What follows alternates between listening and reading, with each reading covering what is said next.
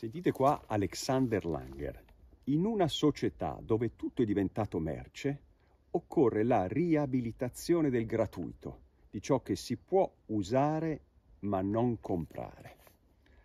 Langer aveva capito molto bene che le nostre montagne hanno un grande valore, ma non dovrebbero essere messe in vendita. Oggi più che mai si sente la mancanza di voci come la sua. Così il 22 febbraio, l'anniversario della sua nascita, l'altra montagna gli dedica un'intera giornata con articoli, approfondimenti, ricordi. Langer è una delle figure di riferimento dell'altra montagna e nel corso di quest'anno il nostro sito dedicherà altre giornate monografiche a voci come la sua, voci che continuano a orientare la nostra visione delle cose.